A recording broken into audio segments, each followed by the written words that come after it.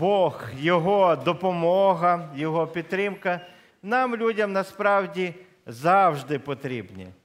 А особливо, звичайно, в такі складні часи, як зараз. Е, прошу, тишини. Правда, інколи буває так, ми, ну, начебто, не помічаємо особливих дій Божих. І є на це свої причини.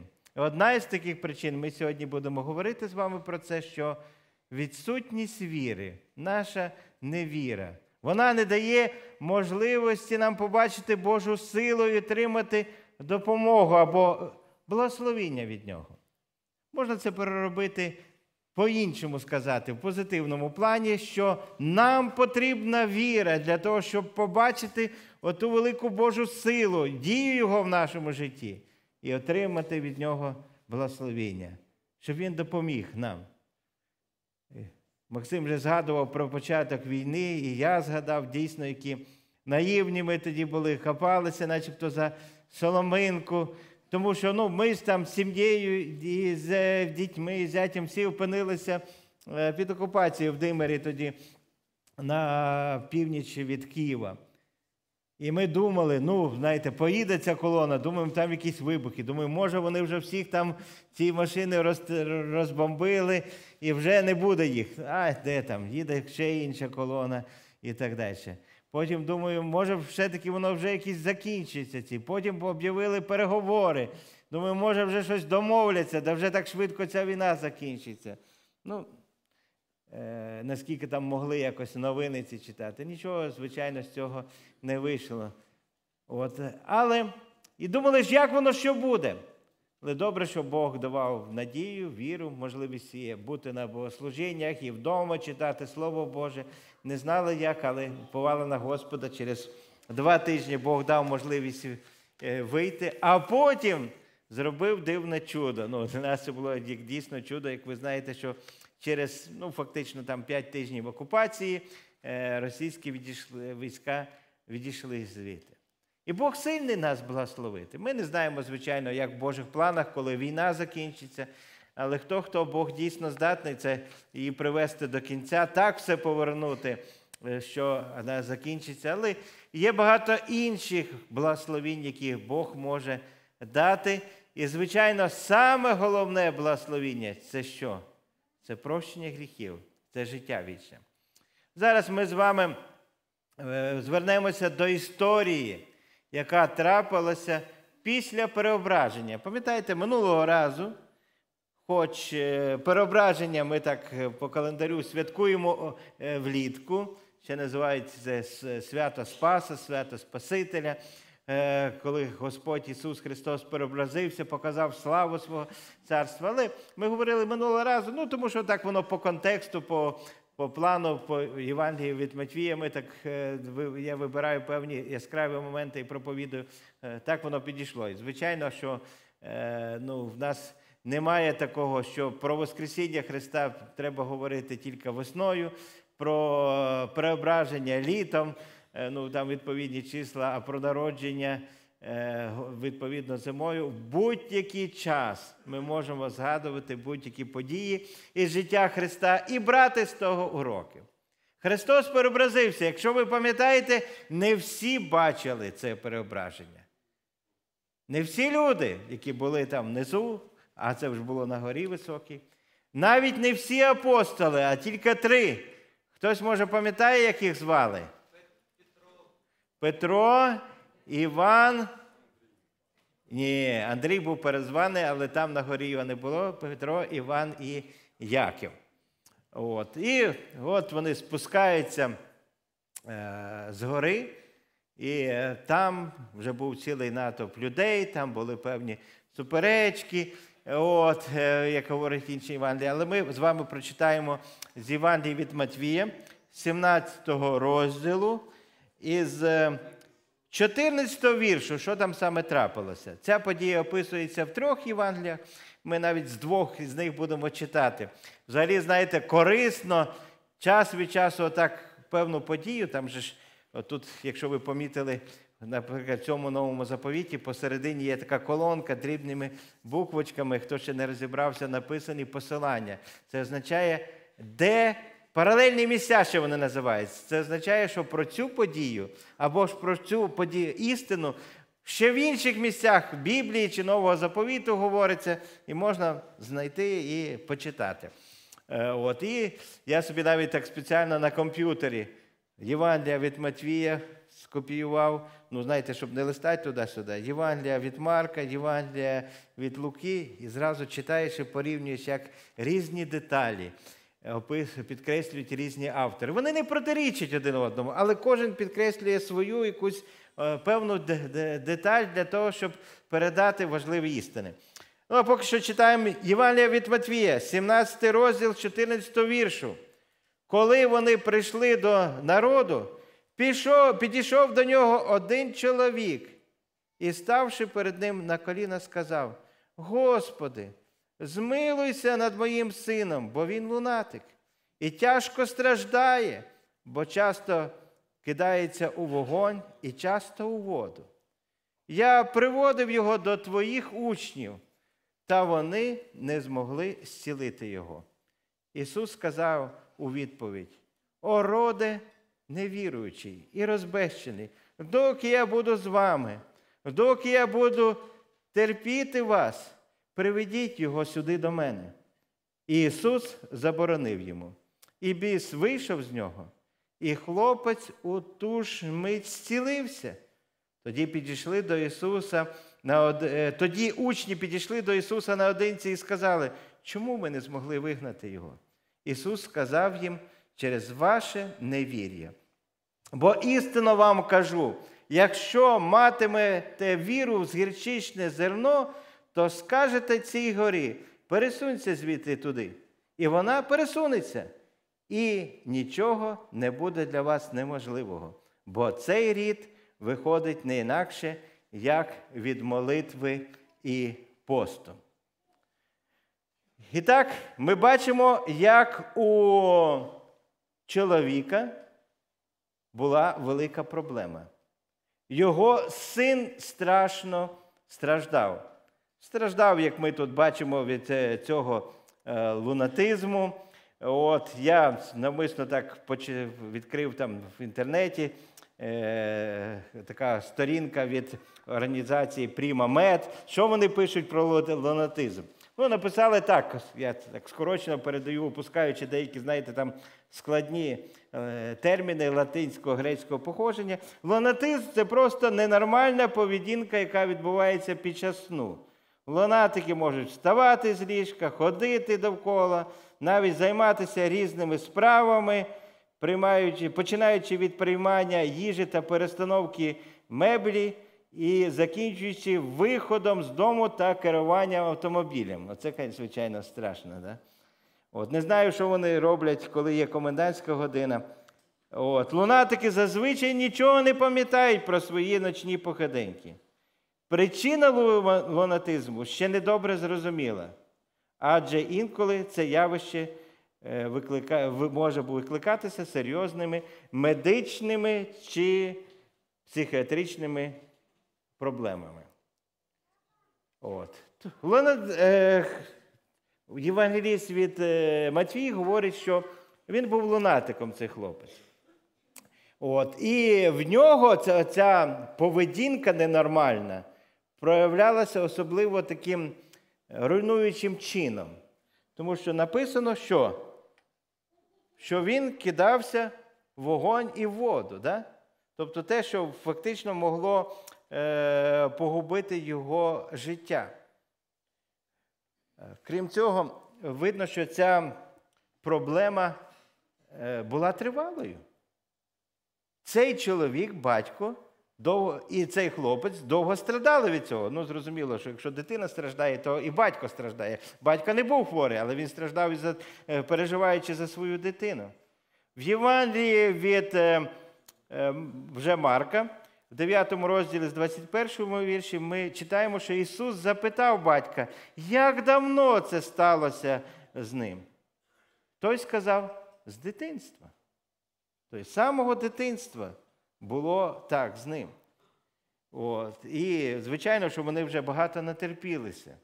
Через те не дивно, що вони прийшли до Ісуса, намагаючись отримати якусь допомогу. Ну, і Ісус був на горі, то вони прийшли до апостолів.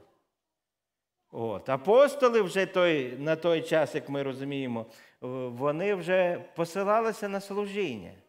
Тобто вони вже несли служіння паралельно з Ісусом Христом. Вони вже теж проповідували Євангелію, вони вже теж е, зціляли хворих, і, зокрема, і виганяли демонів. До речі, я опустив сказати, що е, як було написано е, на той медичному сайті, що можуть бути різні причини лунатизму, невідомо до кінця, які в даному випадку причина вказана, яка? Ні, не, не сказано просто гріхи. Всі люди грішні, але така деструктивна ну, е, поведінка, деструктивна в значенні руйнуюча поведінка у цього, е, ненормальна поведінка у цього хлопця була через те, що в ньому був біс або демон. Або по-іншому, да, нечистий дух. Саме так і е, в Євангелії від Марка написано, 9 розділ, 17 вірш. Один з народу сказав у відповідь: Учителю, я привів до тебе свого сина, одержимого німим духом. Тобто, судячи всього, додається деталь, що крім цієї деструктивної поведінки, в нього була ще те, що він не міг і, і говорити. І в 20-му вірші далі він каже, і його привели до нього, і коли хлопець побачив його, то відразу затряс, ну, через те, що в ньому був цей е, злий дух, отака була поведінка, коли він е, стикнувся із святим Сином Божим. Ось. І, настраждавшись багато від цього, цей чоловік ну, вирішив, що єдина його, мабуть, надія він захотів привести його до Ісуса. Підкреслюється, пам'ятаєте, читав, що він вів до Ісуса. Ну, а так як Ісуса не було, то Він звернувся до апостолів. Ну і апостоли, на жаль, не змогли допомогти. Нам Невідомо, е, е, вірніше, е, в принципі, відомо, не невідомо, що намагалися апостоли зробити, але в кінці кінців причина, чому не могли це зробити, чому е, цей чоловік не зміг отримати благословіння, допомога від Господа, це була, було невірство. Ми не знаємо, що там було в апостолів, в чому проявилося це невірство. Можливо, знаєте, вони не, надіялися на Господа так, як слід. Можливо, вже вони подумали, ну ми ж це раніше робили, зараз ми легко справимося. От. Тому що Христос потім говорив, що це треба не просто так, це треба піст і молитва. І ми будемо з вами ще потім говорити, яке відношення піст і молитва мають саме до віри. Можливо, також е, і той чоловік, тому що проблема була із його вірою. Теж ми ще в Євангелії від Марка почитаємо. Знаєте, привів до Христа, але не з такою вірою, впевненістю, що от Він мені допоможе. А в такому плані, знаєте, ми багато вже куди зверталися, і ніхто нам не допоміг. Давай ще це спробуємо. А Бог не хоче, щоб ми, знаєте, так ті просто тільки до нього звернулися. Ну, може він допоможе, а щоб дійсно у нас була віра. І ми з вами зараз пороздумуємо над такими над важливими декількими питаннями. Якщо віра потрібна нам для того, щоб отримати благословіння від Господа, то перше питання виникає, де ж нам взяти цю віру? Перш за все, віра появляється від слухання, читання Слова Божого. Пам'ятаєте, ми ж теж з вами вже розглядали, вивчали Євангелія від Матвія, 13 розділ, де говориться притчі про царство. А для того, щоб війти в царство Боже, потрібна віра. І от притча про сіяча була перша. Сіється Слово Боже. Вибніше, сіється зерно і потім попадає на різний ґрунт і по-різному зростає, по-різному плід е, приносить. І Христос пояснив, що це сіється е, зерно, це означає, проповідується Слово Боже. І от є люди, які слухають, але вони не намагаються зрозуміти. Вони не просять, щоб Бог е, їм відкрив. Вони, можливо, дрімають, можливо, чекають чогось іншого, коли Слово Боже проповідується. І отак, як кажуть, в одне вухо влетіло, да, в друге вилетіло, ніякої користі не принесло. Є ті, які слухають і начебто на радості приймають, о, така хороша компанія, хороші слова, мені тут добре. Але, ну, як виникають будь-які життєві трудності, не мають вони глибокого кореня. І є ті, які настільки заклопотані земними справами, настільки їх е, тягнуть е, ці бажання до збагачення, турбота про земне е, або земні розваги. Ну, що теж, вони почули, але ладно, це мені, мені зараз не потрібно, це не важливо. В них інші цінності. Але віра проявляється тоді, коли людина слухає це слово, воно і цінує його, роздумує над ним, намагається зрозуміти, і тоді це, ця віра приносить плід. Тоді віра ще більше зростає і зміцняється. Підводячи підсумок, апостол Павло, в посланні до Римлян, 10 розділ, 17 вірш, так і сказав. Отже, віра від слухання, а слухання від Слова Божого. Тобто, ну, якщо співставити, то так, віра появляється від слухання Слова Божого. Е, Хтось може запитати, ну тут написано від слухання, а ви кажете, що читати треба Слово Боже, читати Євангелію. Чому тут не написано від читання? Е, інший час був. Тоді не так багато читали Слово Боже, більше слухали. Чому? Тому що не було книг. Тоді не було ще друкарського верстата. Тим більше не було книг в електронному форматі, як зараз, коли, знаєте, нажав одну кнопочку, поширив, і тобі не треба переказувати комусь, що ти прочитав. Ось бери, я тобі переслав чи переслала, сам читай і так далі. А раніше книги були рукописними, всіх їх було мало, і один читав, а всі інші люди могли тільки слухати. Ну, звичайно, не було таких про, е, прожекторів, прожекторів, щоб висвітлювати. Потрібно було е, тільки слухати. От. А і через те апостол Павло, живучи в той час, так сказав. Але і слухання, і читання Слова Божого, і роздуми над Словом Божим, вони приносять оцей важливий результат, що е, віра наша зростає. Також віра наша зростає, коли ми бачимо Божі діла навколо цього. І ми розуміємо, що люди на той час, які там знаходилися, вони вже бачили або чули про багато різних численних чудес, які зробив Христос. Вже до цього, якщо читати Євангелію від Матвія, від Марка, ми бачимо, що Христос е, багато хворих оздоровлював, багато демонів виганяв, от, е, багато різних чудес робив. Е, вже до цього він і 5 тисяч нагодував і так далі. Тобто багато-багато люди могли е, бачити і пересвідчитися, в принципі, що це є хтось особливий, особливий Божий слуга, Божий син. Вже, до речі, Петро ж визнав його був Божим сином, на якого можна покладатися, якому можна довірятися. Апостоли, як я вже казав, вже до цього ходили на служіння. І самі робили чудо, зокрема, зціляли і виганяли демонів. Ще є один шлях, як де взяти віру. Ви знаєте, що вся віра це добра річ. Написано, що всяке добре даяння, все добре, воно підходить від Бога. Віру можна просити у Бога. Щиро попросити. Якщо в нас немає віри, але ну, є хоч якась трошки віра така, знаєте, тому що, ну, в принципі, і в апостолів була якась віра, раз вони пробували, да? але вона була якби така ну, незрілою, очевидно. Е, зрозуміло, що якщо цей чоловік привів е, до Христа свого сина, то теж у нього була якась віра, якась надія, що Е, можливо, Христос допоможе. Давайте ми тепер відкриємо з вами Євангелія від Марка, 9 розділ. і прочитаємо, е, як він описує цю подію.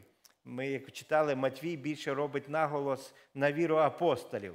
А Марко, коли описує цю подію, він більше робить наголос саме на віру батька. І так, дев'ятий розділ.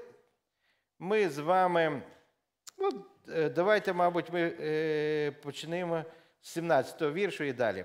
Один з народу сказав у відповідь: Учителю, я привів до тебе свого сина, одержимого німим духом, де тільки схопить його, кидає його на землю, і той пускає піну, скривоче зубами і цепеніє. Я казав твоїм учням, щоб вигнали його, та вони не змогли. Тут додаються деякі деталі, да? ще більше пояснюється його ця ненормальна деструктивна поведінка. Ісус сказав йому у відповідь: О, роде невіруючий, доки я буду з вами, доки я буду терпіти вас, приведіть його до мене. Знов повторюються ці слова. Да? Христос, якби такий обурений, говорить. Але він, звичайно, з добротою, тому що ми бачимо, він його не прогнав, не сказав, так, ви не вірите, ви такі розбечені, вас не вистачає віри, ідіть геть, не хочу я з вами мати справу. З одного боку, він якби обурений. Чому обурений? Тому що я вже так багато зробив, так багато вже засвідчив про себе, а ви все одно от не вірите ніяк. І тут він говорить до батька е, ці слова, якби більше прикріплюються, що вони його стосували. А в Євангелії від Матвія, як ми читали, більше якби стосувалися вони до апостолів. І тих, і тих проявлялося це невірство. Як же у вас не вистачає віри? Христос каже, скільки ну, ще можна вам, вам говорити, скільки ще можна навчати? І ну, Христос дійсно часто був обурений своїми учнями. Ну, Були ті випадки, наприклад, він говорить про страждання, про любов до людей, що він має померти за гріхи людей, віддати себе, пожертвувати. А апостоли в цей час сперечаються. А хто каже з нас саме більший буде у Царстві Небесному? Пам'ятаєте, які в них думки? Вони про рейтинг свій, а той, щоб послужити, щоб віддати своє життя. Христос говорить, стережіться оцієї такої гріховної закваски, оцього такого лицемір'я, яке є у цих фарисеїв, садукеїв, священиків. А вони подумали, а, закваска, закваска це ж хліб на ньому печуть. О, каже, це, мабуть, він каже нам, що ми хліба мало взяли. Розумієте, як вони думали? Ні, це реальні випадки, які описані е, в Біблії. Тобто це невір'я проявлялося, через це ми повинні правильно зрозуміти, чому Христос тут так оборився. Але зрозуміло, як то буває у батька або мама, яка пояснює, чи виховує, чи навчає дитину, а вона знову знову робить помилки, але все одно ж любиш і будеш проявляти це ще терпіння і допомагати. Так і тут було. Він дорікнув, але не прогнав. Сказав, приведіть його сюди. І ну і далі читаємо з 20-го віршу. Його привели до нього, коли хлопець побачив його, тобто Ісуса. Дух відразу затряс ним, і він упав на землю і почав качатися і пускати піну. Ісус запитав е, його батька, як давно це сталося з ним? Той сказав з дитинства. Дух багато разів кидав його у вогонь і у воду, щоб погубити його. Але якщо можеш щось зробити, то жайся над нами, допоможи нам. От просив цієї милості, він вже втомився, казав, якщо можеш, жалься. В Євангелії від Луки він так каже, благаю тебе, зглянься. Це мій єдиний син.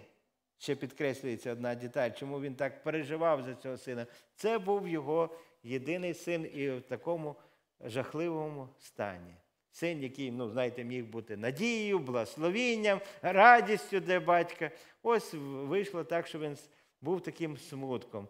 Е, причиною багатьох страждань і переживань через те цей чоловік благав, якщо можеш, жалься. Проблема була в чому? Все-таки оце слово, якщо можеш. Що йому відповів Христос? Він каже, Ісус сказав йому: якщо можеш повірити, то все можливо для того, хто вірить. Проблема не в силі Божій, він же звертався до Ісуса Христа, до Сина Божого.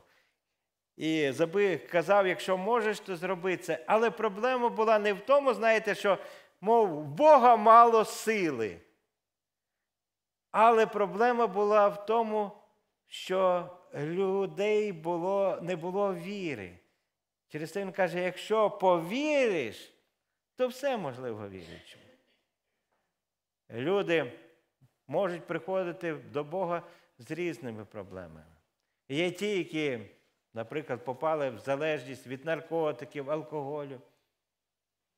Чи може Бог змінити їхнє життя?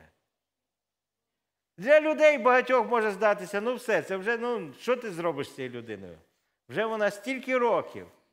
Але багато було свідчень про те, що Бог змінював людей через віру в нього.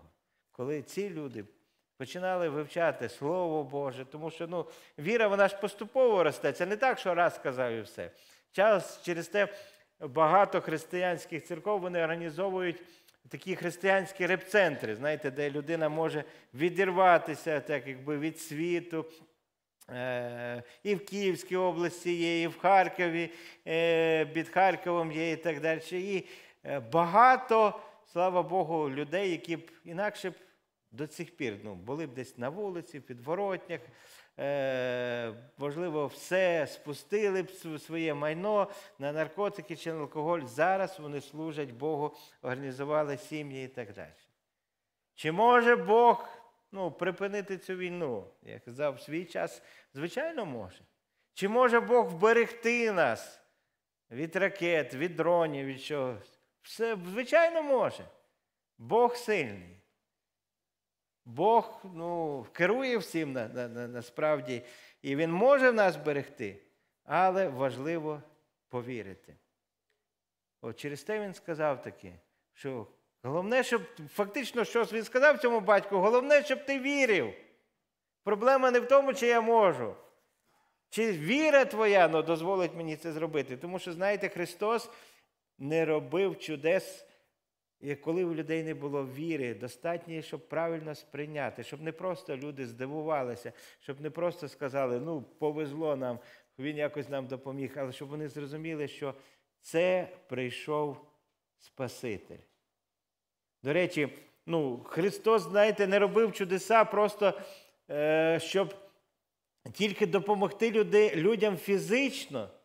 Він навмисно вибрав отут, оце, ну, як вибрав, зрозуміло, що це батько його привів, але у Бога було все під контролем. Він навмисно допустив, організував, спланував цю подію для того, щоб показати, от подібно, як оцей хлопчина, який так страждає від цього е, злого духу, але він, він страждав в такому видимому.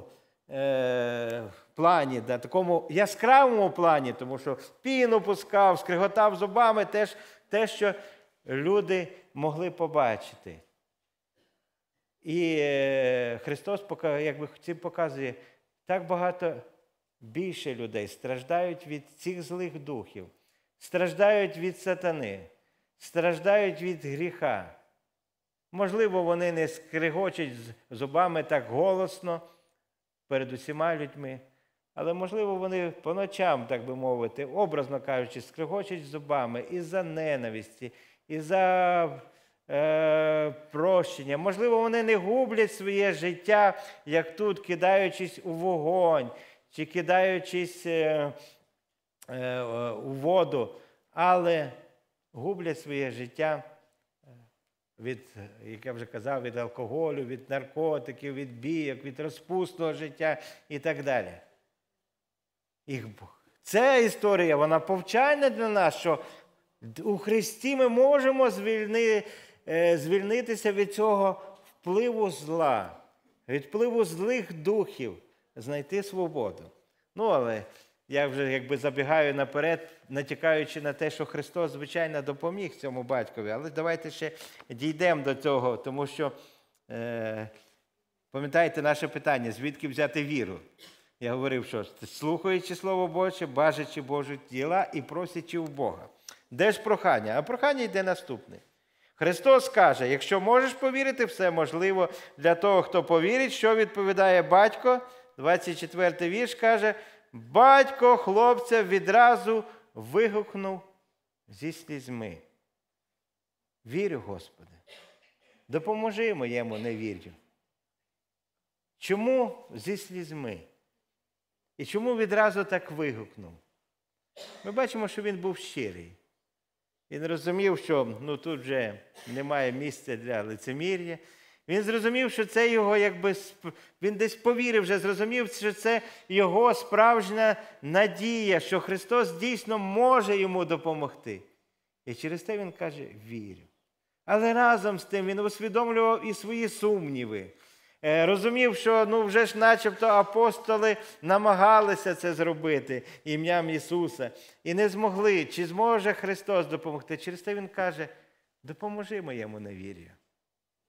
Тобто забери це невір'я, зміцни мою віру, дай мені е, таку справжню спасаючу віру.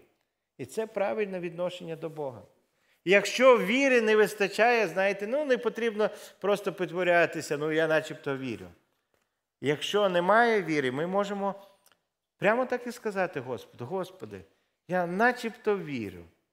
А може сказати, може хтось навіть скаже, то я взагалі не знаю, чи я вірю. Але якщо ти є, Боже, прояви себе, пробуди цю живу віру в мені. Ну, Кожен має молитися в залежності від стану свого серця. Хтось скаже, Господи, я майже вірю, чи може вірю, чи взагалі не вірю. Але кожен може попросити, щоб Бог дав справжню віру. Достатньо, щоб е, Бог міг нас благословити.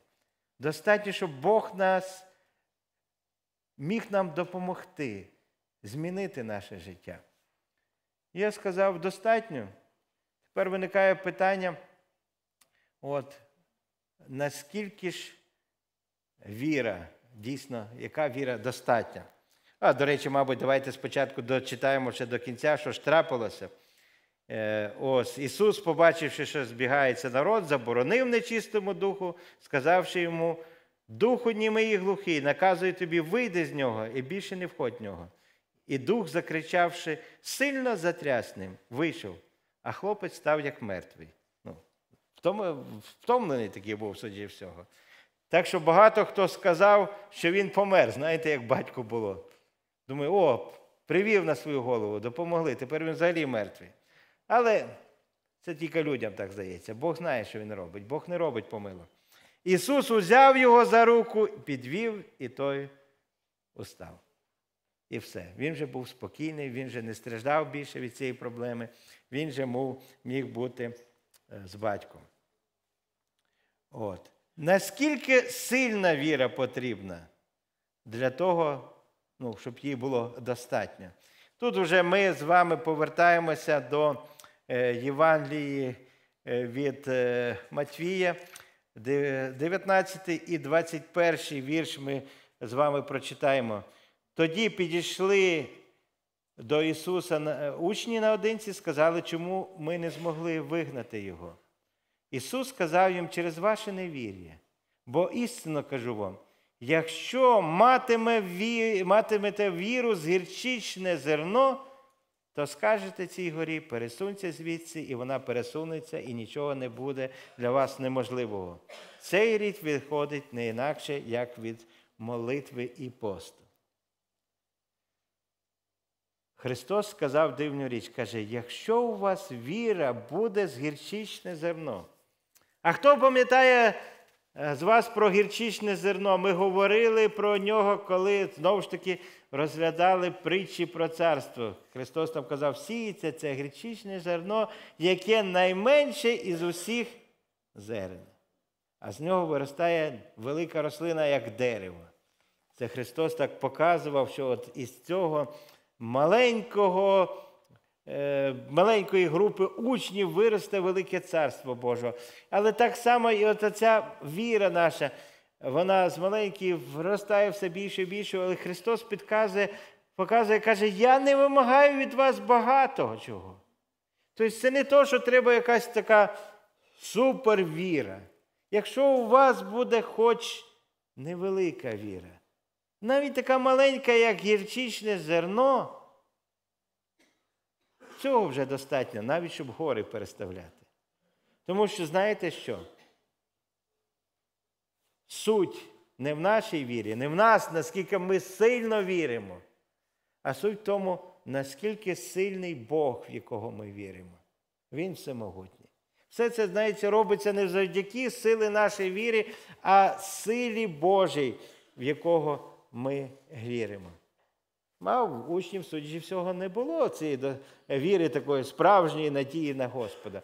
Ми не знаємо знову ж таки, чому причина. Христос каже, цей рід вимаганяється постом ще й молитвою. От. Тому що молитва, е, ну, для того, щоб Бог діяв і для того, щоб віра наша зростала, важливо молитися. Ну, Що таке молитва? Це коли ми звертаємося до Бога. І цим зверненням до Бога вже ми показуємо, що ми не покладаємося на свої сили, на свою якусь мудрість. Через те добре молитися. Молитися, коли ми день починаємо, щоб його добре е, прожити. Молитися кожен раз, коли ми чуємо сигнал тривоги. Молитися, коли ми йдемо кудись, щоб Бог зберіг, чи щось купуємо, ще щось робимо. Ну і ще є такий особливий від молитви це молитва з постом. Згідно Біблії, піст це не так, як люди уявляють, що протягом деякого періоду часу там не їсти жирного, м'яса не їсти, тільки посне. Піст це малося на увазі, е, біблійний піст, це коли людина на деякий час, можливо, на день, можливо, на добу, можливо, на декілька днів, вона відмовлялася для їжі, для того, щоб більше перебувати в часу, ну, замість того, щоб їсти, молитися до Господа, звертатися до нього. І що цей допомагав, чим цей піст допомагає ще, що людина відчуває, знаєте, коли вона не їсть, вона відчуває немічність. І вона розуміє тоді, наскільки вона залежна від їжі. Тому що коли регулярно їси, думаєш, а що та їжа? Як без неї міг би прожити? А коли немає їжі, тоді починаєш відчувати, ага. Так і тоді вона переводить паралель і думає, якщо я без їжі не можу, наскільки я немічна тоді людина, наскільки мені потрібен Бог. І оцей піс він допомагає якби зрозуміти свою, усвідомити свою немічність і покластися повністю на Бога, тому що це і є справжня віра. Зокрема, і що стосується спасіння, знаєте, поки ще людина думає так. Ну так, треба піти в церкву, послухаю трохи. Я ж непогана людина. Я, в принципі, сам можу будь-який гріх перемогти, себе спасти. От, Але допомога Божа, Божа допомога не помішає. Така людина, ну це ж вона не має віри. Така людина не зможе покаятися. Бог не перемінить життя такої людини. Не зможе така людина отримати спасіння від Господа, коли людина звертається до Бога каже, Господи, я сам не можу. Я покладаю всю віру, надію на тебе. Ти мене зміни, ти мене спаси. Я так свої студентські роки звернувся до Господа. Навчався тоді, коли почав думати більше про це на другому курсі, були е, свої погані звички в житті, залежності. І я спочатку думав, ну, спортом позаймаюся, кину там це, це все погані звички, виправлю своє життя. Ще щось там, ще щось почитаю, якась філософія. Знаєте, нічого не виходило. Поки я не почитав, е, не почав читати Євангелію. І тож думав, знаєте як? Спочатку думаєш, ну читаю Євангелію, щоб якби просто свої сили зміцнити. Молюсь до Бога, щоб Він мені допоміг. Але ключове, що я, я, я це роблю. Але в кінці кінців прийшов до висновку, що от як до Христа приходили люди з цими хворі, немічні, от, одержимі духом злим чи демоном, от як тут було написано, вони приходили такими, як вони є.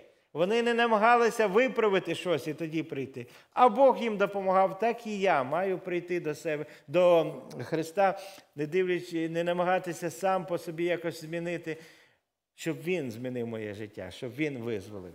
І Христос і Бог обов'язково сильний це зробити. Він може, може визволити нас з гріха, може дарувати нам спасіння, прощення гріхів, може дарувати нам е, е, і захист у такі важкі часи, і війну цю припинити, аби тільки ми покладалися до нього. І тоді ми дійсно побачимо великі Божі діла, зрозуміємо велич Божу. Як в кінці цієї історії Євангелії від Луки написано, і всі були вражені величчю Божою. Хай Бог дарує кожному з вас цю справжню віру.